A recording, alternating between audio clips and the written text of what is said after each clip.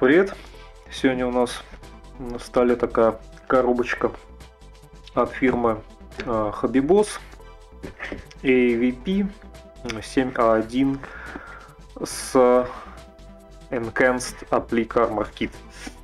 А, значит, десантная машина морской пехоты США от э, фирмы Habibos. Ну, фирма Habibos, по информации, которая ко мне поступила из достоверных источников в виде э, различных слухов, слухов и обрывочных постов на соответствующих форумах, форумах является чем-то вроде саббренда э, концерна Трампетер, небезызвестного, ну, то есть, грубо говоря, одна из торговых марок, скажем так, в, этой, в этом каком-то их конгломерате что в принципе видно даже по некоторым элементам оформления их наборов, то есть э, если присмотреться, сравнить трампетеровские и бибосовские наборы, там упаковка достаточно похожая, внутренних, внутренняя коробчатая комплектация зачастую похожа, инструкции по компоновке выглядят очень похожи. По-моему, даже какие-то модели наборов перетекали между брендами Trampeter Habibos, но я уже как не настолько как бы шарю в этой внутренней кухне, поэтому вот на таком уровне. Соответственно, у Хабибоса очень много достаточно забавных наборчиков. Вот один из них, ну, достаточно редкий, наверное, скажем так, э, для того, чтобы его моделировать. Не то, чтобы, наверное, сильно известная машинка, хотя она мне всегда нравилась. А, в общем, машинка EVP 7.1, да, то есть это а, расшифровывается как Armored Amphibious Vehicle, а, то есть бронированная плавающая бронемашина. А буква П, скорее всего, означает персонал, то есть для десанта. Вообще, по прототип, если говорить, в принципе, машинка разрабатывалась э, в США где-то в 70-х годах на замену предыдущим генерациям э, амфибий для высадки десанта. Ну, с точки зрения, да, военной доктрины Соединенных Штатов Америки, да, соответственно, народы моря, вот это все, ставка на авианосцы, ну, там вот, доставка демократии в любую точку мира, э, как бы действительно, рассылая авианосцы, ну, тебе действительно нужна машина для высадки десанта, поэтому, в принципе, такой один из, наверное, краеугольных камней, да, стратегии, чтобы вот это вот все можно было там в случае чего с моря высадить, чтобы, э, так сказать, занять э, то, что еще уцелело после налетов авиации. Поэтому машинка на самом деле может быть выглядит забавно, но так-то она вроде как достаточно важная. Ну и внешний вид мне всегда прикалывал, такой гигантский сарай, вот этот вот э, высоченный, хо-хо, только посмотрите на нее. Так, так в общем машинка, да, в 70-х годах разрабатывалась, ну точнее как уже собственно, была принята на вооружение в начале 70-х годов, в первом, с первой своей итерации. Там еще буковки П не было. А, на замену, по-моему, машин, машинки, которая еще чуть ли не в войну э, Вторую мировую использовалась для тех же целей. Ну, в общем, что можно сказать, что это алюминиевая броня, ну, как бы понятно, да, чтобы не тонула вся эта фигня. Э, такой вот огромный, такой достаточно здоровый корпус – высоченный десант находился в, за, в задней части э, на 25 морских пехотинцев, то есть довольно много. Ну и, соответственно, сзади аппарель это открывалось. И вот это все дело э, выбегало на пляж и, соответственно, ну, выполняло свои десантные задачи. Э, соответственно, конкретно вот эта коробочка, она у нас реплицирует, скажем так, уже модификацию первоначальную, которая была разработана где-то, по-моему, в 89-х годах и отличается наличием вот этого самого дополнительного комплекта навесной брони, который, собственно, у нас вот изображен. Это такие вот панели дополнительно навешенные, такие ребристые, ну, соответственно, для дополнительной защиты. Ну, там со всеми вытекающими, наверное, на каких-нибудь плавательных характеристиках, возможно, слегка негативно это повлияло. Ну да ладно, там же, кстати, еще Изначально машинка комплектовалась только пулеметом 12,7 калибр, потом ей еще добавили и э, гранатомет автоматический МК-19. Э, ну, вот, собственно, А, вот это как раз модификация уже с навесной брони, насколько помню, была самой массовой в производстве, эксплуатировалась в США, там, ну и несколько было экспортных вариантов, там от Южной Кореи до Аргентины и так далее. А, ну, участвовала во многих операциях, где морская пехота была задействована, что логично, так как морская пехота, ну, понятно, это такой бренд, в общем, вооруженных сил США. А, в частности, вот в «Буре в пустыне» она тоже участвовала. Я и подозреваю, что на Боксарте, наверное, у нас что-то типа «Бури в пустыне» изображено. Так вот, что по коробке, значит, Хобби Босс у нас, а, помимо, собственно, наименования, также на английском языке указывает длину модели – готовый 23 э, сантиметра, ширину где-то 10,5 сантиметров. На боковиках показывает проекцию одну из вариантов окраски на одном. На другом еще одну проекцию второго варианта на K4 показывает, что есть фототравление в комплекте, какие-то предупреждения. Ну, в принципе, больше ничего особо интересного не рассказывает.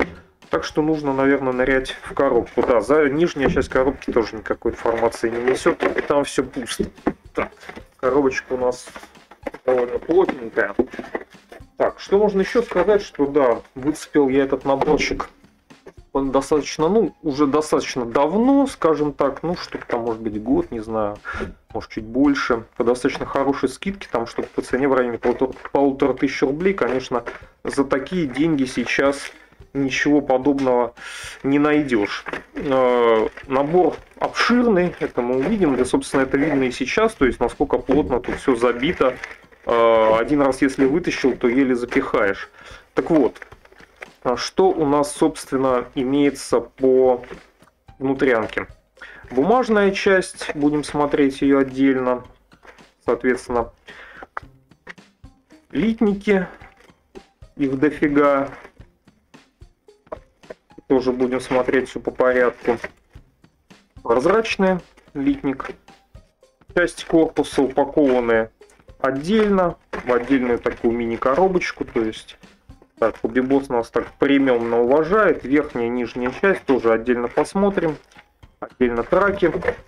Отдельно внизу еще у нас какие-то допчики. Да, тоже детали траков. Ну и в самом низу соответственно, декали и подотравление. Тоже все по порядку посмотрим. Начнем по традиции с бумаги. Значит, что у нас по бумаге? Первым делом инструкция. Так, инструкция, как я уже говорил, немножко по виду похожа на, на инструкции Трампетера, даже, по-моему, пиктограммы, условное обозначение, чем-то похоже. Никакой исторической справки нет, в виде книжечки исполнена. Значит, тут сам, тот же самый бокс-арт с коробки. А, только рекомендации по сборке на цепи. Встречают и предупреждения. А, на второй, значит, листе развертка литников, как можно было сказать, их очень много. Кстати, да, я не упомянул, что а, набор всего лишь один в линейке. На самом деле у Хабибоса чуть ли не по 10 разных наборов модификации этой машины, то есть от самой ранней до самых там поздних и модификации на а, Брэм и так далее. То есть очень сильно они как бы эту вот линейку разветвили. А, так что а, и так, такое дело есть. То есть во очень многих вариациях эту машину можно увидеть, как из доп брони, как и без, доп брони. Ну, так что, да, вот у нас большое количество литников, прям реально вот цел, целый навал. Это можно как бы еще объяснить тем, что машина, в общем-то, интерьерная. Ну, по крайней мере, насколько я понял, в десантный отсек не тоже проработан. Боевое отделение экипажа, ну, вроде бы как тоже интерьер полностью воспроизведен, насколько я понял. А, соответственно, мы можем видеть, что кроме фототравления у нас тут даже трос, по-моему, присутствует. Ну, по крайней мере, должен. А, соответственно, ну что странно, кстати, при таком количестве модификаций на раскладке. Раскладка литников, кстати, такая очень экономная, то есть э, сами литники разложены, но детали на них а, никак не обозначены. То есть в случае чего нам это не очень поможет, разве что определять на каком литнике. Соответственно, еще ну, нет такого, чтобы я видел, чтобы здесь обозначены какие-то неиспользуемые детали, то есть либо как-то они уж очень хитро компонуют по что все к этой модели, либо просто как бы это не указывают. потому что модификаций много, обычно всегда какие-то неиспользуемые детали получаются. А, значит, и дальше у нас, собственно, сразу начинается сборка. Ну и так сразу видно, что довольно подробная, шагов будет много, то есть книжечка толстенькая. Ну, что видно по сборке сразу, что, как уже можно было в коробке увидеть, что корпус из двух частей, половин, верхняя, нижняя, соответственно, они отлиты в одну деталь.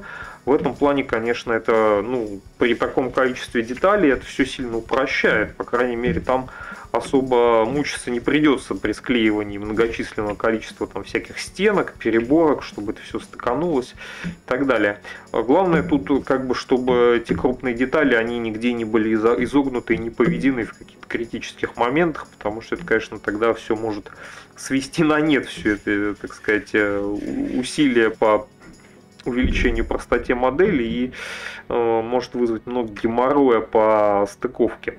Так вот, значит, начинается все с ходовой, собственно, катки у нас, звездочки ведущие, водометная система, я так понимаю. Ну, понятное дело, что машина в воде, когда... Ну, вообще, да, машины, они, собственно, подразумевались как выгружаться из больших десантных кораблей, то есть выплывать оттуда, собственно, и посредством водометных вот этих движителей э, добираться до берега, а там уже оперировать, собственно, на гусеничном ходу ходовая, тут какие детали к нижней части корпуса, ну точнее как ходовая, только катки склеиваются, водометы, вот водометы у нас сразу цепляются на корпус, в принципе уже какие-то даже декали предлагают нам э, прямо тут лепить, что довольно, конечно, забавно, потому как э, ну, собственно, какие декали могут быть до окраски, да. Вот, кстати, водометные движители, я так понимаю, у нас даже подвижные должны быть. Вот написано, что не клеить.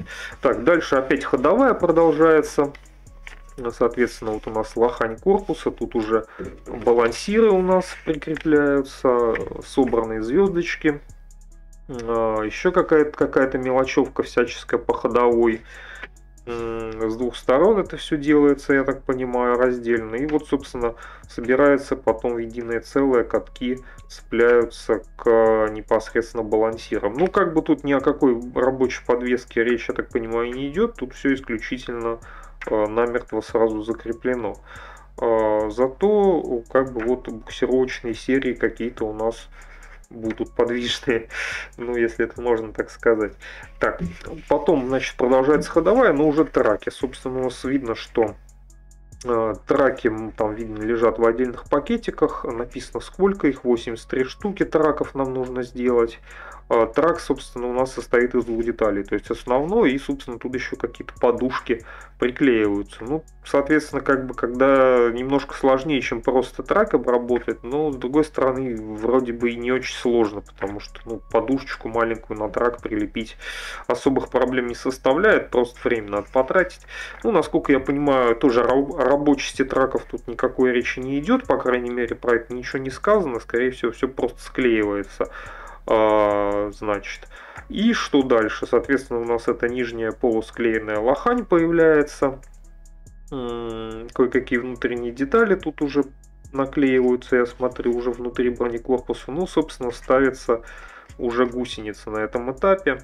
Но это, конечно, с точки зрения окрашивания ставить уже гусеницу, это ну, как бы нецелесообразно с точки зрения, как это делать правильно, поэтому это исключительно предложение инструкции.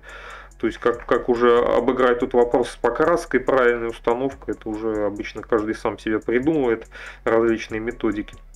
Дальше, значит, у нас, э, я так понимаю, начинается сборка, насколько я понимаю, это уже интерьерная часть кажется, или детали аппарели, даже надо посмотреть дальше. Опять же, предлагают уже прямо здесь клеить декали, то есть, ну, в принципе, это как бы, наверное, логично, потому что в наборе, как я уже смотрел, там много декалей, которые техническую информацию несут, скорее всего, наклеиваются, наносятся либо внутри, отсеков, либо где-то, может быть, в каких-то труднодоступных местах. То есть показывать их на схеме окраски, например, возможно, будет тяжело, если они в каких-то там труднодоступных местах, да, то есть поэтому, наверное, показывают сразу куда эти декали клеятся, да, то есть есть какие-то техничка, например, в салоне машины, соответственно, ну, получается, до окраски это все надо запомнить, что где, куда, потом по инструкции, либо по инструкции потом восстанавливать, смотреть, чтобы уже после окраски их э, поместить эти декали куда нужно. Да, собственно, это получается действительно деталь интерьера уже. Вот это она тут на а, внутреннюю стенку, все это мы наклеивали. И, соответственно, она устанавливается вот сюда уже появляются, значит, э, детали с фототравления. Нам как бы пишут, что сгибать нужно, что цианокриватный клей. В принципе, очень все, ну, такие вот тонкие моменты очень подробно и понятно, скажем так, показаны. Ну, видно, что появляются скамейки для экипажа. Насколько я помню, их три должно быть. А, значит, э, десантников 25 человек, там довольно-таки много. Здоровый такой сарай. Перископчики у нас тут уже склеиваются, я так понимаю, или что-то типа того. Устанавливается полик со скамейками внутрь. А, опять же, добавляются внутренние какие-то детали со стенками, ну, соответственно, вот тоже с э, скамейкой частично, видимо. В общем, в основном идет работа по интерьеру. То есть вот всяческие тут ящики, приборные какие-то элементы добавляются. Вот тут нам нужно подсверлиться, я так понимаю, это, возможно, касается навесных этих элементов брони. Ну, достаточно много сверлить нужно. Еще вопрос, обозначены ли непосредственно на деталях места, где нужно сверлить. Ну, должны быть, потому что других каких-то указаний, где именно сверлиться, нет. А, значит, в эти потом засверленные дыры нужно, соответственно, какие-то элементы доставлять дополнительно. Довольно сложная, конечно, сборка, то есть деталей реально много, вот это все интерьер и навесная броня там, скорее всего, будет довольно забавно это все склеивать. Ну, что поделать, поделаешь, погони за высокой детализацией. Опять же, продолжаются работы по интерьеру, все-таки другая внутренняя стенка устанавливается. Опять же, какие-то приборы там, технические какие-то декали с надписями наносятся в интерьер. Ну, то есть, как бы интерьер прям богато детализирован, особенно если учесть, что если машина будет склеена, да, то есть даже с открытой задней аппарелью, какую-то там вот сверху детализацию, ну, будет довольно тяжело, конечно, увидеть. Но сам момент прикольно. Внутренние какие-то стенки там, стрелка там, наверное, водителя. Ну, опять же, что-то тут из фототравления, какие-то доп. ящички или что-то вроде того э, собирается не совсем, конечно, смысл понятен глубоко в интерьере машины, как, как какой-то коробс, в принципе, какой особо смысл его делать из фототравления был, ну, допустим, ладно. Канистры тут, наверное, с водой или что-нибудь такое, дополнительные какие-то полки. Опять же, интерьер, то есть он, видимо, немалую часть сборки занимает, много тут опять дополнительных декалек с техничкой, вот видим мы, что тут уже вроде как боевое отделение идет, и, по-моему, механика водителя пост, и что-то какие-то дополнительные моменты, то есть вот этот все такой отсек получается в передней части. Но единственное, я так понимаю, что двигателя мы здесь не увидим, по логике двигатель, наверное, в самом носу располагается, соответственно, э, с точки зрения, наверное, защиты экипажа и десанта, да, то есть двигатель такой играет импровизированную роль дополнительной в брони, собственно, с той же, с тем же замыслом, как, например, это на БМП сделано и так далее. Значит, эта парель у нас уже собирается, а, соответственно, какие-то доп там элементы. Появляются элементы каких-то юбок дополнительных навесных, то есть уже видно, что интерьер, я так понимаю, в массе своей на данном этапе собран ну, всякие там вот эти дополнительные внешние элементы присоединяются. Появляются, ага, появляется нижняя, а, верхняя часть корпуса. Тут тоже как бы, да, интерьер продолжается и на верхней части. Наносится всяческая различная деталировка. Единственный вопрос, конечно, насколько я понимаю, так как у нас декали показаны подробно по интерьеру, да, их много, а вот, э, собственно, момент окраски нигде у нас, скорее всего, ни на схеме окраски, ни непосредственно на этапах сборки, как вот все это многообразие интерьера красить, ну, насколько я понимаю, э, Хобби Босс не указывает. А, потому что, ну, собственно, никаких обозначений цветов нет, а интерьер, скорее всего, там по цветам, конечно, будет довольно разнообразный. множество количества приборов различных, каких-то узлов и так далее. То есть это нужно видимо, сверяться с фотографиями отдельно, если, если делать открытую машину и все это показывать. Так, Соответственно, вот опять же верхняя часть корпуса, тут появляются у нас э, перископы различные для наблюдения, еще там стенки внутренние элементы, вот, которые, видимо, собственно, открывают, закрывают тут аппарель, а, еще какие-то внутренние короба там, вот у нас появляются, ну так понимаю, это деталь прозрачный пластик, наверное, вот эти многочисленные перископы водителя, там командира в передней части машины – детали... еще дополнительная деталировка всяческого верха тут, куча всего, всяческих ручек, э, зацепов, элементов каких-то. Значит, все это нам сразу предлагают собрать, не дожидаясь, так сказать, склеивания верха и низа.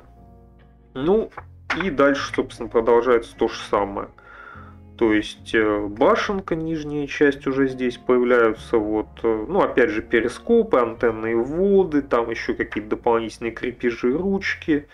А, значит, э, насколько помню, в, в наборе никаких элементов имитации самих антенн нет. То есть антенны, собственно, придется как-то из подручных материалов там отдельно покупать и так далее. Вот у нас появляются решеточки с вот отравления на воздуховоды всяческие.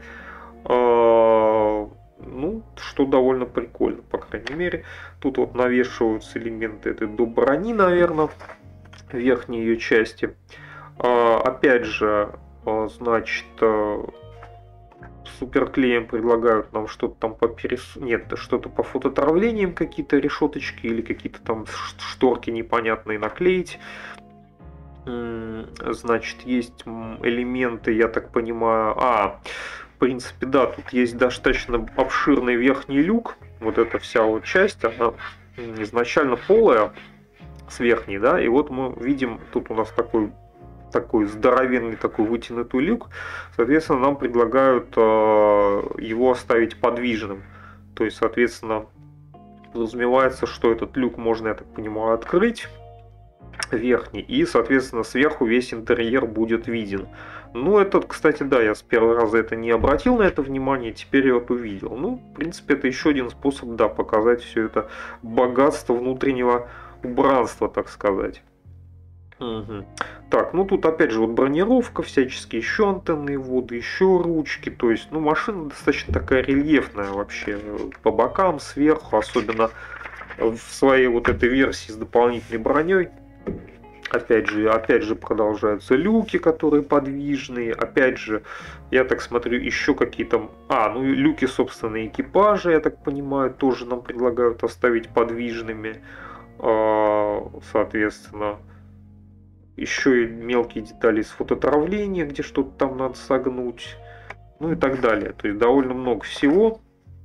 И вот мы подходим к этапу, собственно, стыковки верхней и нижней половины корпуса. Собственно, вот это подразумевается, что все уже должно быть у нас собрано в единое целое, и только в конце мы должны отстыковать. Ну, это как бы, в принципе, а, логично предположить, что стыковать, конечно, и склеивать два огромных, э, супер детализированных, супер забитых мелочевку узла, это, в принципе, довольно рискованный момент, потому что как только какой-то момент, может быть, нестыковки или нужно будет приложить какие-то усилия, да, то есть это тяжело будет делать, когда у тебя в руках такая вот хрупкая, забитая мелочевка и деталь. То есть чуть-чуть что-то там нажмешь, и у тебя может все отлететь. Так что вполне возможно, что тут логичнее скорее стыковать крупные детали сначала, потом уже, ну я имею в виду, как минимум сначала сделать нижнюю часть с интерьером, да, а потом уже Э, непосредственно гол, гол, голую, не, заби, не, не склеенную верхнюю часть наклеить, а потом уже мелочевкой. Ну, тут надо быть аккуратным, потому что э, как бы уже тоже склеенные две половины, собирать какую-то часть мелочевки, типа люков, чего-то там, возможно, будет не так удобно, когда у тебя уже корпус собран. Поэтому тут тонкий момент, надо быть с этим внимательным. Это достаточно нетривиальная, может быть, задача. Ну, еще дополнительно под сама, собственно, эта аппарель. собирается тут э, с, с, с какими-то там серьгами дополнительными, я так понимаю, аппарель у нас э, не пойму, что у нас по серьгам информация, будет ли она подвижна или нет, но сейчас посмотрим. По-моему, нет, потому что там, по-моему, можно только в каком-то одном варианте правильно собрать. Так, и, собственно, аппарель у нас немножко откладывается. Мы переходим к доп. комплекту брони. Ну, кстати, он не очень-то и обширный, всего из двух деталей на каждую сторону состоит. Ну, там еще по мелочевке что-то еще спереди накидывается и так далее. А, то есть, вроде как у нас все это наброситься должно довольно-таки просто. Если, конечно, до этого мы все правильно склеили. И потом у нас прям пошла башенка. Башенка машины такая довольно забавная. Тут прям целый разворот, она много шагов собирается. Там, соответственно, у нас тоже есть э, внутрянка башенки, то есть там и пулеметные какие-то ленты, там вот что куда. Поворотная эта площадка. Спаренная система. У нас тут пулемет вместе с э, МК-18 гранатометом. Довольно тоже все детализировано, прикольно. Вот тут э, элемент подачи гранат, собственно, показан. Веселая штуковина. И в самом конце, в самом конце мы достигаем финалочки сборки, где у нас, собственно, стыкуется башня с корпусом и аппарель. Соответственно, два варианта у нас будет по аппарели. Э, э, открытая, закрытая. Вот. Э, опции подвижности нет, потому что есть элемент вот такого троса, видимо, за счет которого, соответственно, парель закрывается, открывается. Соответственно, его не совсем я понимаю, э, ну, видимо, нужно будет, я так понимаю, самому, скорее всего, изготовить, так как указан диаметр. Видимо, в комплекте ничего этого нет. Ну, он будет, соответственно, вытянут, поэтому никаким образом ты тут подвижный аппарель не сделаешь. То есть э, нет, фактически невозможно. Либо закрытая, либо, соответственно, открытая. Ну, с открытым, конечно, интереснее, потому что богатый интерьер. На этом, собственно, инструкция заканчивается. Из бумажек у нас остается цветная схема окраски. Как бы по духу очень похоже на то, что сейчас звезда делает. Трампетер ровно такие же схемы делает. И, собственно, мы тут мы видим буквально э, два варианта окраски. Оба на НАТО Woodland, соответственно, на пустыне у нас ничего нет, не дается э, в комплекте. Привязки исторических, кстати, тоже нет. Ну, кстати, даже не очень понятно, на какую армию. То есть Woodland-то он вроде Woodland НАТО, да, и рисунок такой, но какое-то подразделение неизвестно и НАТО ли вообще в данном случае, ну, можно только предположить. Значит, э, стандартный, да, трехцветный натовский Woodland камуфляж. Краски указаны на Ганзу, на Мистер Хобби, на Валеха, на Model Master, на Томию, ну, и на Хамбрал. Но при этом на Томию и, например, на Валеха, Валеджа номинально указано. Вот на Томию, например, указан только один цвет – то есть э, почему-то не стали заморачиваться даже два цвета еще подбирать на Валедже, то два из трех цветов. И здесь у нас тоже указывается почему-то вынесено на отдельный лист, что что-то мы еще стальным цветом должны подкрасить. Это тоже у нас дано только здесь и только э, на три производителя. Ну, да ладно. Зато тут мы видим, что это точно натовская машина из контингента K4. Так, ну, тут опять же и декали показаны, декали, которые касаются, соответственно, внешнего облика машины, потому как то, что касалось интерьера, оно было в самой инструкции. На этом, собственно,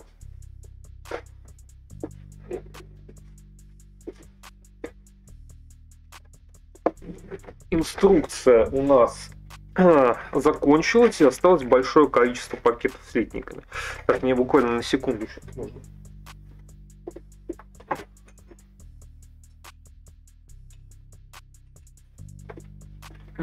Так как модельный ножик я захватить забыл, чтобы это все дело скрывать. туго набитый, набитая карабень такая вот. Немножко можно было ее даже ну, повыше сделать, потому что, ну, вот реально туго. То есть, вот уже как, как бы раз нарушив изначально идеальную заводскую упаковку, всего этого добра, потом это уже как-то запихиваешь и думаешь, как бы не раздавить там что-нибудь. Так вот, по порядку, значит.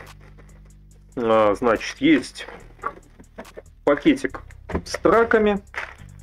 Они э, находятся в таких э, кусочках литников по две штуки на каждом. Ну, в принципе, упрощено. Хотя с какой идеей это делается именно с траками, не очень понятно. То есть было бы прикольно, если бы они уже были бы зашкурены по одному траку, да, полностью готовы к сборке, да, как дракон делает, я так понимаю, делал когда-то. Но когда их все равно нужно скусывать и обрабатывать, какой смысл давать их э, типа вот как бы каком-то полуобработанном виде, не очень я понял, ну, наверное, какая-то идея в этом есть. Открывать смысла нет, как бы, ну, вот просто траки из пластика другого цвета. Дальше из интересного, значит, у нас идет э, ванна корпуса и верхняя часть корпуса. Достаточно, как мы можем составить представление о габаритах модели. Достаточно крупная такая лохань. Получается высокая, широкая, длинная. Рельеф у нас тут всяческих креплений, значит. А, днище не детализировано, ну это если кому-то важно, да. А, соответственно, все достаточно красиво, рельефно, кое-где есть имитация сварных каких-то швов. Ну, облочка практически нет никакого. С виду выглядит вроде бы не искривленно, ничего не завалено никуда, на первый взгляд. Ну, может быть, чуть-чуть только стеночки загнулись совсем мизерно внутрь. Может быть, это будет заметно. Ну, видимо, если их разопрут другие детали, я надеюсь, что, в принципе, это не будет проблемой. Ничего такого страшного. так. Соответственно, и все-таки запаяно в пакетик у нас идет верхняя часть корпуса. Тоже в одну деталь, но как, как бы детализация тут гораздо более богатая. Это все дело должно вот так вот застыковаться между собой. И оно вроде бы как-то даже стыкуется на шпеньках, на неких. Конечно, далеко от прям вот... Ну, в принципе, да, вот оно как бы... Верхняя часть немножко распирает э, нижнюю, да, и... В принципе, получается что-то похожее на правду. Я думаю, каких проблем особо с этим не будет. Чуть-чуть помучиться и все окей. Посмотрим, короче говоря. Я думаю, все будет нормально. Вот такой вот он пирожок у нас получается здоровенный такой вот геометрическая такая тригонометрическое тело. Забавно.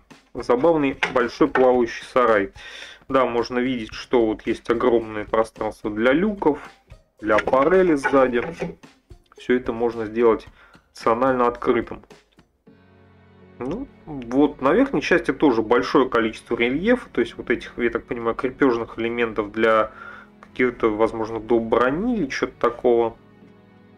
Какие-то тут антислипы элементы, что-то такое, ребристая поверхность. То есть, ну, то есть достаточно, ну, достаточно такая рельефно дан, данная, дан, э, данная верхняя часть, и вроде бы все тут нормально сделано, никаких таких явных огрехов я заметить не могу. Так, сразу спрячу в пакетик, потому что чтобы потом дело не терять.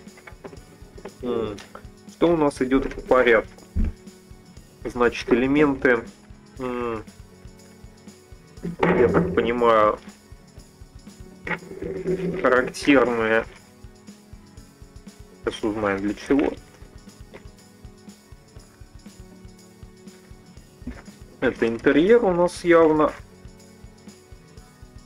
Интерьерная часть, соответственно, данный вот это, скажем так, ну, переборка, загородка, а, соответственно, вот этого тоннеля подбашенного, подбашенная коробка, я даже не знаю, как это назвать, а, отделяющая десантное отделение от, собственно, того, где находится стрелок.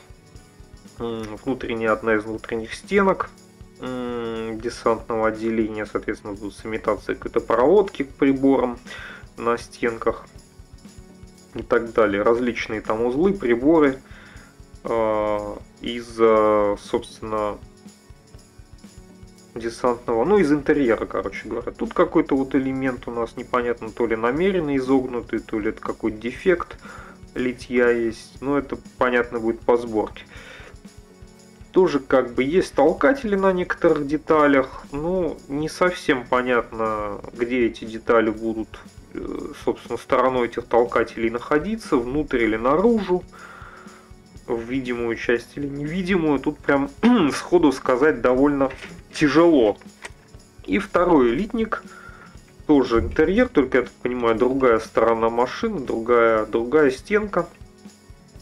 Соответственно, тоже, опять же, проводки всяческие, там патрубки, прочая мелочевка. То есть сказать назначение большинства деталей, конечно, в отрыве от инструкции тяжело, потому что это все-таки интерьер машины. Значит, ну, дальше. Как бы выбрать покрупнее что-нибудь. Вот такой у нас литник, даже два литника. Ну, кстати, да, вот пакеты не индивидуальные, да. Видно, кстати, момент, что уже не знаю, собственно, сложно сказать, по чьей вине, моей или изначальной упаковки литник э, довольно сильно изогнут. Тут вполне возможно, что может быть моя вина, потому что первоначально раскрывая, потом укладывал, может быть, не так аккуратно, как надо было, и что-то там подзамялось уже в коробке. Может быть, изначально с завода так не обратил внимания. Так, ладно, посмотрим внутрь. Ну, тут скорее изгиб, конечно, важен для, прежде всего, деталей корпуса, которые общую геометрию будут, так сказать, определять машины. Поэтому, если это какие-то прям внутренние переборки, ну там, я думаю, можно что-то там решить. Так что я не буду как бы за это влагать вину на Хубибос, хотя, конечно, коробочку они могли бы просторнее сделать для такого, для такого количества литников деталей. М да. Ну, тут внешняя какая-то бронировка. А, нет, люки, да, вот эти самые люки. Ну, не знаю, подзагнулись они сами или нет. Посмотрим потом. Надеюсь, что особо нет. Бронировки, всякие люки, дополнительные какие-то решетки на корпус, держатели, там вот эти всякие обтекательные элементы. Ну, соответственно, и второй такой же литник, опять же, а, понимаю, внутренние стенки десанта какая-то внешняя деталь, это только понимаю, одна из двух, что ли, ну, вторая не в этом пакете. Угу. Достаточно много всяких таких мелких элементов, частью приборы данные, соответственно, везде имитация проводки в отлита в пластике, ну, то есть довольно прикольно все выглядит. Как бы толкатели, ну, насколько можно внешне понять, вроде все логично находится, по идее, на невидимых частях интерьера и так далее. Так что, надеюсь, тут все будет окей. Пакетики, кстати, очень похожи тоже на те, что Трампетер использует. Те же самые такие с дырками для вентиляции, скажем так. Думаю, все это, в принципе, делается на одних и тех же заводах. Так. Еще один крупный элемент с как понимаю, в основном, наверное, касающийся как раз дополнительной брони вот этой, характерной для этой модификации. Так, она такая характерно рельефная. Сейчас посмотрим. Тоже, кстати, характерный момент, то есть, видимо, какие-то особо хрупкие элементы. В частности, тут у нас э, ручки на корпус, в основном данные. Трампетеры, хубибос оборачивают вот такой вот демпфирующим элементом, чтобы не сломалось. Ну, прикольно, заботится. Эти дополнительные какие-то стенки под бронировку, видимо, под что-то. Сами элементы бронировки вот эти рельефные. Ну, рельеф, видимо, соответственно, для того, чтобы отражать различные бронебойные элементы, которые будут попадать. Соответственно, менять угол, видимо, там что-то такое. Кумулятивную струю может как-то э, нарушать, так сказать, ее угол входа в броню. Ну, хотя алюминиевая броня и такие как бы габариты машины, конс, конские или даже слоновьи, как я бы назвал, они, конечно, говорят о том, что машинка, скорее всего, может быть довольно уязвима. Ну, вот так вот. Опять же, много всяческой клепки, все такое вроде без облоя, без утяжем. Тут вроде ничего, кстати, не изогнулось. Ну, как бы панели и панели. Вроде все прикольно, с ними все окей. Так, смотрим дальше. Еще пакетик довольно крупный.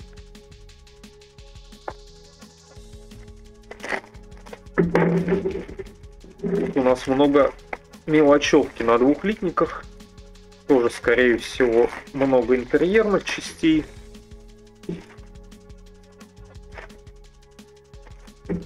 Смотрим, значит, что у нас есть. Детали башенки. А, ну, кстати, вот эти элементы, вроде бы, насколько я понимаю, ну вот, собственно, точнее, это не башенка, это башенка командира, скажем так, да. Это не башенка стрелка, а башенка командира. Вот эти элементы, я так, насколько понимаю, должны быть наблюдательными приборами по, по окружности э, башенки. Но они сделаны наглухо. То есть там по инструкции я, к сожалению, не точно не помню. Но, вероятно, если туда подклеиваются прозрачные, то, наверное, подложку под них нужно раскрашивать в какую-то имитацию э, наблюдательных приборов. То есть принципе, решение, то, что они сделаны глухими, это, конечно, довольно интересно. Ну, видно, что, значит, собственно, нижняя часть башенки. Тут, вот тут, э, соответственно, дана имитации каких-то там вот швов, сварки, непонятно, шиповых или нет. Еще какие-то дополнительные элементы бронировки. Вооружение, я так понимаю, здесь же дано, соответственно, как пулемет, так и гранатомет. А, кстати говоря, есть элемент а, многоразъемных пресс-форм на вооружении, то есть как пулемет, так и гранатометом К-18 даны с высверленным стволом. Ну, не в том плане, что их реально кто-то высверливал, да, а в том, что плане, что многоразъемная форма, поэтому в стволах есть отверстия. Это, в принципе, довольно редко увидишь э, у многих людей, у многих моделей, так бы не только звезды, и многие западные и восточные производители не делают такого, но здесь сделано. Это прикольно. Ну вот, вооружение, различные приборы, внутренние, внешние, наблюдения, детали башенки там и так далее. Так, и второй литник из этого же пакета. так, у нас тут, значит, опять же, тоже присутствует в основном навесное. Дополнительно навесное, помню, кожухи, по-моему, движители водометных, насколько я помню, дополнительные какие-то поручни, там шансовый инструмент, лопаты, соответственно, топоры, ну, тут как бы замки э, отлиты вместе, ну, как бы, собственно, большинство, наверное, все так и делают. Чтобы тут, наверное, такого было, чтобы замки шанса еще в травлении как-то отливались, тут они не стали. А люки, соответственно, а, экипажа самой машины с антислиповым, наверное, таким шершавым покрытием или что-то вроде. Они должны делаться подвижными. Опять же, детали самих движителей отлиты, дополнительные какие-то переборки или панели. Это такое. Ну, как бы по качеству, в принципе, повторяться смысла нет. Видно, что литье, ну, хорошее. То есть все никак, никакого, упаси боже, облоя, там каких-то тем более утяжен, не проливов. Это как бы уже понятно само собой разумеющееся, что этого нет в принципе никогда не Трампетер, ни Хобби Босс в таких болезнях особо замечен не был. в этом плане. Поэтому, наверное, по 50 раз это повторять даже бессмысленно. Так, следующий пакетик. Тут у нас действительно очень много деталей уже, на самом деле, действительно уже голос э, подсядет, пока все посмотришь. Детали, значит, аппарели, собственно, у нас видно, что ну, собственно, вот парели, да, то есть видно, что в ней есть отдельная дверь, которая, я так понимаю, данным отдельным элементом, наверное, теоретически можно и дверь открыть, а не саму аппарель опускать, если кому-то так захочется. Осветительные приборы, кстати, отлиты вместе, собственно, с задней вот этой стенкой под эту аппарель. Ну, задние, не осветить, ну, стоп-сигнал, грубо говоря. Рельеф внутренней аппарели дам, собственно, отдельно. Они состыкуются внешней внутренняя часть, видимо, никаких следов толкателей не будет. То же самое, собственно, с этой, с этой дверкой. Ну и какие-то там элементы, что-то типа там ручки открывания или что-то такое. То есть все по аппарели сосредоточено на одном литнике. На втором литнике из этого же пакетика, я так понимаю, это у нас, по-моему, полик боевого, по-моему, отделения, если только не боковая стенка. Вот так сложно уже по памяти сказать, что это такое. Либо полик, либо стенка. Ну, наверное, больше на полик похоже. С какими-то с отверстиями для установки элементов. Какая-то одна из каких-то боковых, видимо, панелей стенки. Там что-то такое. Какие-то короба тут данные Вполне возможно, что, кстати, короба, о которых там шла речь в травлении, я еще замечал. Вполне возможно, что все-таки они, кстати, данные в пластике, потому что трампетеры, соответственно, Хабибос, они так довольно часто делают, дают альтернативы, то есть пластик или травление. Как бы за этим надо внимательно следить. Может быть, кому-то мучиться с травлением на каких-то малозаметных элементах и не захочется. А просто можно бахнуть пластику детальку, да, и забыть об этом. Так, значит, все с этой частью все, и что у нас там остается? Вот такая еще, такой пакетик у нас отдельный. Пакетиков взаимозаменяемых, видимо, много для того, чтобы можно было компоновать под разные модификации. Здесь у нас, возможно, кстати, это все-таки полик а не то, что я подумал. Да, это, ну это как минимум полик десантного отделения. А вот это что такое? Это, наверное, переборка какая-то. По-моему, да, что типа переборки внутри. Ну, что-то типа того, да. Очень большой интерьер, поэтому тяжело по памяти вспомнить, какая деталь куда. И, соответственно, тоже, видимо, ну, я, насколько понимаю, тоже интерьерная какая-то часть с каким-то еще небольшим количеством узлов, которым что-то сказать внятное сложно, кроме того, что вроде бы они отлиты неплохо и прикольно. Без каких-то проблем.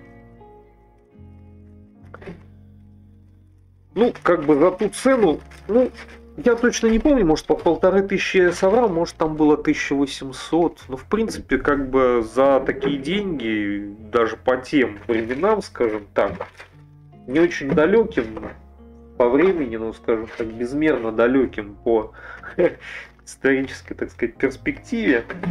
В принципе, даже для тех времен деньги были, я считаю, за такую детализацию и обилие всего в наборе довольно-таки смешные, наверное. Хотя, конечно, хобби-босс это нифига не премиум, скажем так, недорогой сегмент. Хобби-боссовские модели, они даже на нашем рынке, они всегда были довольно дешевые, кстати говоря. Такие, знаете, вот что-то вот чуть выше, знаете, когда ты хочешь так сказать, чувствуешь, что ты уже, так сказать, хочешь э, э, из, э, так сказать, сегмента звезды и и ни, нище премиум моделизма, так сказать, немножко заглянуть, так сказать, выше, да, что-то типа того. То есть, в принципе, первое, что ты натыкаешься, это вот Хабибос, наверное, один из. Да у них было довольно много таких э, достаточно дешевых наборчиков и неплохих по качеству. Так, значит, у нас вот ходовая тут внезапно всплыла. А, соответственно, два литника, так понимаю, идентичных, да, где у нас, соответственно, данные катки из двух половин, а, ленивцы и ну, ведущие звездочки, кстати, не здесь. Где были ведущие звездочки, я, видимо, пропустил. Где-то они были. И, собственно, балансиры сами. Балансиры такие очень маленькие, такие тоненькие, так, по сравнению с танковыми, конечно. Ну, в принципе, алюминиевая броня, машинка должна быть легкой, чтобы ко дну не идти, поэтому вот они такие смешные. То есть при общем большом таком размере этого сарая, да, балансиры, конечно, очень маленькие. Ну, вроде как безутяжно отлито, катки с детализацией, болтики, все видно. Э, ну, ходовка, понятное дело, вроде как неподвижная. Хотя чем именно фиксироваться балансиры будут в своем положении, непонятно. Они круглые идеально. Ну ладно, потом разберемся. Ну, как бы вот тоже огрехов на каких-то на ленивцах тоже вроде ничего такого не заметно все вроде ровненько. Так. И, значит, подходим постепенно, мы приближаемся концу нашего путешествия. И на следующем, на очереди у нас, э, собственно, те самые, э, скажем так, подушки, подушки на траке, которые на каждый трак по одной наклеиваются. Тоже данные в отдельном пакетике, 3-4 литника. Ну, очень простой формы, как бы другого цвета, нежели сами, сами траки и так далее. Не знаю, ну, не знаю, что там они имитируют, резиновые какие-то подушки. Сложно вообще сказать, это какой-то исконный элемент трака, или, может быть, китайцы подсмотрели эти подушки, как какие-нибудь, они там, знаете, э, асфальта для защиты дороги, там, знаете, для парадов или что-то такое. Может, такое тоже бывает, кто знает. Может, для этого подушки, а может, просто часть трака. Сложно сказать. Это надо изучать, чтобы случайно не наклеить подушки и как бы показать машинку, что она на боевых, а потом окажется, что подушки для парадов, да? Кто знает. Так, остается у нас, э, значит, э, два литничка с прозрачными деталями, их достаточно много, то есть в машине достаточно много наблюдательных приборов, то есть там и у, насколько я помню, и у экипажа очень много всяких приборов, то есть в одной только вот в одних только вот этих э, башенках стрелка там водителя и так далее, командира этих приборов куча. Ну, насколько я понимаю, у десанта вроде никаких наблюдательных приборов особо не подразумевалось, поэтому в основном это наблюдательным приборам экипажа относится, то есть прозрачного пластика дано много. И, значит, из допов, скажем так, ну, не из допов, понятное дело, Э, фототравление, соответственно, маленькая такая платка, ну тоже в комплекте, как бы все за эти же деньги. Несколько больших решеточек, несколько решеточек поменьше, какие-то параушинки тут мизерные. Ну, то есть, вроде как бы несложно все это согнуть будет, так как оно в небольшом количестве дано с маркировкой Hubibos травления. И, значит, да, в конце у нас, э, ну, в отдельном пакетике декаль я думаю, я, наверное, не полезу в пакетик с декалью, хотя... Ну, хотя нет, ничего бы не полезть. Все-таки надо узнать, а сделана ли у нас декаль без, без дефектов в том наборе. Просто она как бы тоже по трампетеровски, по хабибосовски э, прикрыта всегда таким листиком. Причем аж с двух сторон, то есть его еще и открепить. Очень они беспокоиться за сохранность декали, хотя не то чтобы я когда-то видел, чтобы с декалями что-то происходило. Может бояться, чтобы от солнца, бояться, что от солнца пожелтеет, не знаю. Э, в общем, сама декаль достаточно, не, ну как сказать, небольшой листик, но технически на декале, в принципе, порядочно. То есть, в основном это все касается интерьера. На всякие элементы тут наклеиваются э, листы, ну, или, ну, надписи, большое количество всяческих предупреждающих надписей для интерьера. Отделены они, собственно, верхняя часть, а нижняя часть это у нас внешние декальки. Тут видно, что обозначение кейфор, номерные знаки там какие-то еще, какие-то там тоже техническая инфа, USMC-шные номера. Ну, вроде без дефектов все отлито, насколько я вижу. В принципе, должно нормально лечь на свои места. Ну, из приколов, да, вот, кстати, я что-то там, по-моему, заикнулся про э, мета, про, собственно, металлический трос. А, ну нет, у нас ниточка. Очень маленькая, коротенькая, коротенькая ниточка. Но все-таки, наверное, этот трос не буксировочный. По-моему, деталей буксировочных каких-то тросов я не увидел на этой машинке. То есть, если они где-то и подразумевались э, в прототипе, то они, возможно, хранятся где-то внутри, либо Хобби-босс просто не знает об их существовании. А, но эта ниточка, я так понимаю, единственное, куда может применяться, это, собственно, для механизма, а, соответственно, открывания парели. То есть, видимо, это она. Это самая веревочка, которая должна нам показывать механизм, который подтягивает нам парель. Ну, конечно, из веревочки делать не то чтобы довольно прикольно, потому что я уж не знаю, какое там должно быть натяжение, как-то сильно на готовой модельке, значит, натянуть веревочку довольно тяжело, чтобы она не была не провисшая какая-нибудь, не знаю. Скорее всего, конечно, лучше на что-то, наверное, заменить, типа тросика металлического, это, мне кажется, будет прикольней. Ну, так что да, вот это, пожалуй, момент, единственное, что веревочка, оно как-то немножко смазывает, смазывает немножко итоговое, итоговое впечатление от набора, но как бы то не без, не без греха, так сказать. В общем, что сказать по модели, вот реально, за те деньги, которые она стоила год, может быть, полтора назад, ну, это реально гора пластика, гора пластика, интерьер супер достаточно детализировано, круто. А, фототравление там минимальное дано, прозрачный пластик, схема окраски, крупные элементы даны в одну деталь, то есть корпус весь, собственно, дан в одну, в две детали. То есть, ну, как бы китайцы вот так делают. То есть вот так делают, причем это набор достаточно не новый, я, кстати, забыл сказать, какого он года. По-моему, он э, что-то в районе 9 может быть, там каких-то каких таких лет. 2009 или чуть позже, возможно. Так что, собственно, ну вот так вот делают китайцы. Вот так делает Трампетер, вот так делает Хобби Босс. Всем пока.